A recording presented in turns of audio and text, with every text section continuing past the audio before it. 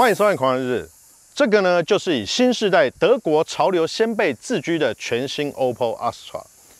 德国啊，它身为世界公认的极致工艺呈现哦，各项产品呢向来都受到市场的追捧以及追求，特别是德国车啊，几乎就可以说是汽车工业里的最高标准了，也非常的受到台湾人喜爱。几乎就成为了台湾人心目中最理想的存在。但是这个呢，主打着德国车名号的 OPPO Astra，它真的是德国车吗？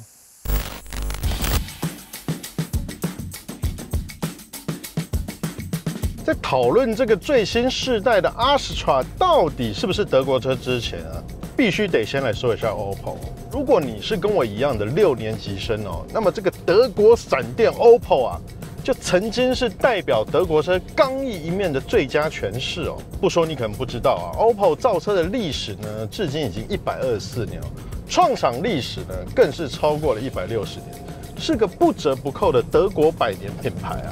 不仅呢率先在欧洲啊开发出流水线的生产模式哦，让汽车得以走入寻常百姓的家中，其所生产的车辆啊坚固耐用，性能出色，而且便宜。这一切呢，让 OPPO 在一九四零年之后啊，成为了全欧洲最大的汽车制造商哦。当时的世界排名甚至到了第七位。而到了九零年代呢，OPPO 依然每年光在欧洲就可以卖出超过一百五十辆车，占据整个欧洲市场的一成哦。比起你所知道相对大众的德国品牌 Volkswagen 还要再多一点呢。重点是啊，OPPO 能够屹立不摇至今啊，绝对不是单靠生于德国这个背景哦。事实上呢，它强大的技术力才是最大的本钱。OPPO 呢，它早在一九二零年啊，就进行了人类历史上第一个火箭计划哦，陆续打造出搭载火箭动力的陆地车辆、轨道火箭车以及飞机等动力载具哦，创造了多项世界纪录，被誉为是现今航太工业的先驱啊。那当然，专心在汽车产业的时候啊，OPPO 呢也是埋头苦干的发展了各种技术哦。八零年代就创造出零点二六 CD 的风阻世界纪录哦。九零年代还开发了一个热效率达到百分之三十七的汽油引擎。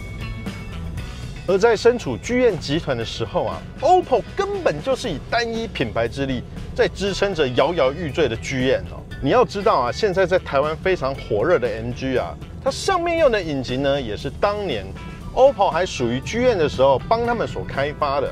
讲得夸张一点啊，如果没有 OPPO 啊，剧院根本就活不到二十一世纪。那当然，在所谓集团资源共享的大前提之下呢，Astra 确实是拿 PSA 集团的第三代 EMP2 平台为基底哦，车身上也可以看到不少 PSA 的标志哦。但实际上呢，它在开发的时候啊，OPPO 就已经参与其中了，替这个法系为基础的平台注入了德国思维，让最后呢有高达百分之七十的部件跟设计啊，都跟原本不同。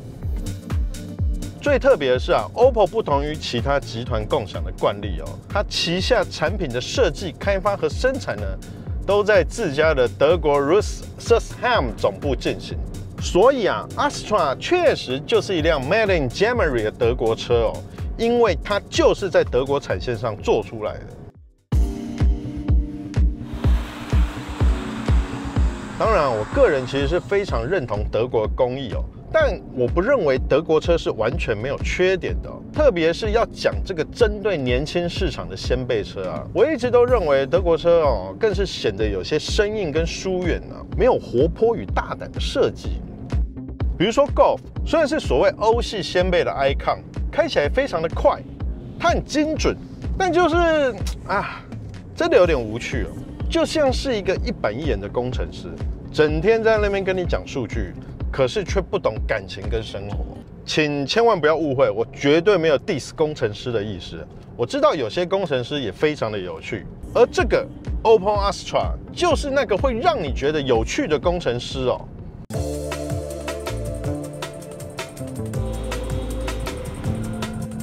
Astra 真的是太不像德国车了，当你摆动方向盘的瞬间呢，你就会惊讶于这个指向性。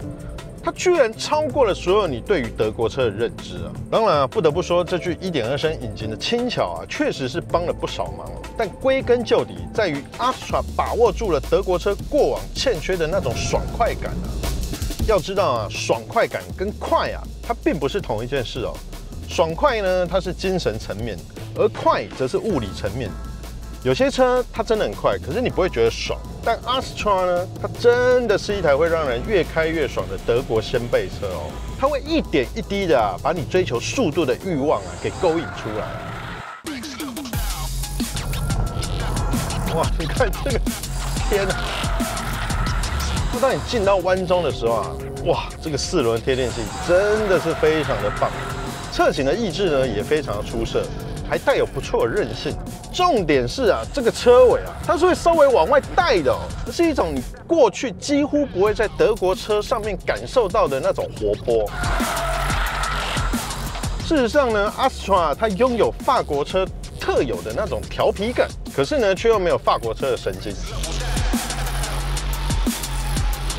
法国人是真的有办法把一百二十匹的掀背。调教到让你开起来像是三百匹那样疯狂与失控，而德国人他却是能把三百匹的车控制到像是一百二十匹那样理性与安定。而 Astra 它真的是很好的融合了两个民族完全不同的造车哲学哦。唯一的问题啊，就是原厂搭配的米其林 Permancy Four。抓地力真的是对不上这套底盘，但这个好解决啊，换一套轮胎就行。比较难解决的是这个1.2升的动力啊，对于驾驶技术比较好的人来讲，可能是真的希望可以再多一点点。但反过来说啊，我觉得这才是可以让人尽情享受的关键啊！哦，这个姿态，哇塞，真太好玩了这个车。假如给我一个动力大一点的版本，我真的觉得我可以开它去挑战 Vincent 的 GR Yaris。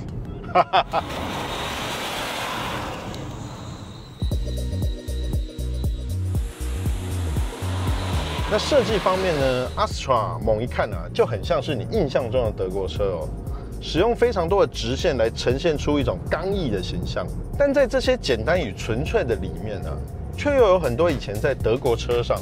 你看不到的大胆元素，例如车尾上的第三刹车灯啊，它结合了尾翼上的凸起造型，真的是跳脱，而且也打破了德国车的既有框架，把机能跟造型合而为一。而这也是因为 OPPO 呢，它在设计团队之中啊，有不少女性的缘故哦。他们把新时代女性的思维啊，融入到刚毅的德国先辈里面哦。让 Astra 呢显得非常的柔软以及时尚。讲实话啦，我是不太明白什么叫做新时代的德国潮流啦。但按照我的个人角度来看哦，Astra 它确实是一辆看起来没有那么生硬的德国先辈车。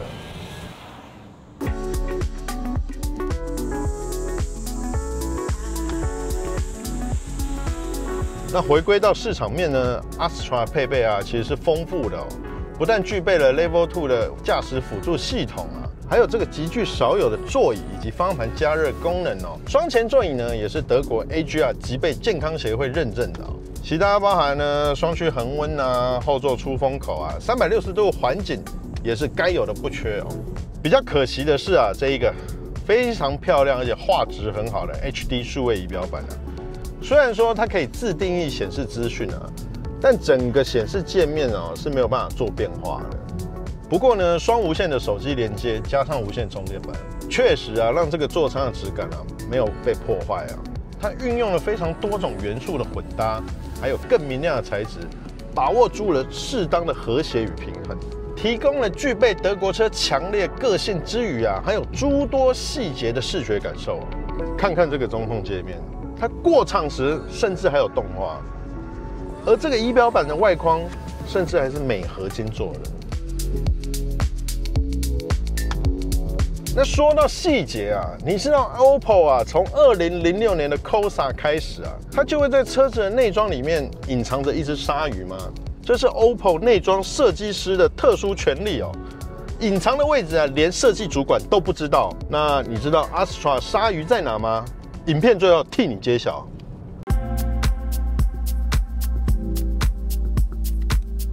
所以 Astra 它是德国车吗？说是啊，还真的是；说不是也没错。我真的觉得啊，Astra 很适合那些喜欢德国车，可是呢，却又觉得 Golf 太过泛滥以及刻板的掀背车爱好者。Astra 它确实就是那感性与理性并重，而且具备有质感，不再让拥有德国车这件事显得枯燥的一个存在哦。哎，好像都没讲到空间，要来跟大家补充一下，Astra 它的行李箱啊是同级最大哦。它的行李箱呢有四百二十二公升哦，那后座椅被倾倒之后呢，则是有一千三百三十九公升。Golf 呢则是三百八十公升以及一千两百三十七公升，而 Focus 则是三百四十一公升以及一千三百二十公升。天哪，你可以告诉我，Astra 它真的是德国掀背车吗？